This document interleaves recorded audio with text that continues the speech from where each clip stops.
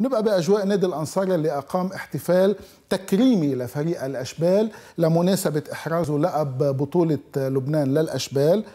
عم نشوف أمامنا لقطات من الاحتفال مع رئيس النادي والأجهزة الفنية واللاعبين الصغار. احتفال تخللوا عرض فيلم مصور عن مسيرة أشبال الأنصار وكلمة للزميل عباس حسن قائد الفريق حسن منصور. عم نشوفه أمامنا. وكلمة لرئيس النادي نبيل بدر.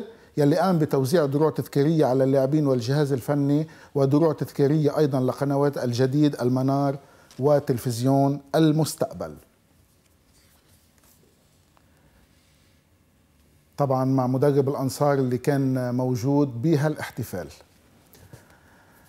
بنبقى أيضا بأجواء الأنصار حصته كبيرة معنا بالحلقة اليوم، الأنصار نظم مباراة جمعت قدامى الأنصار وقدامى ضباط الجيش اللبناني، المباراة إجت كتحية للعقيد الشهيد نور الدين الجمل اللاعب السابق بالأنصار وبمنتخب لبنان بحضور عائلة المقدم الشهيد ممثل عن قائد الجيش.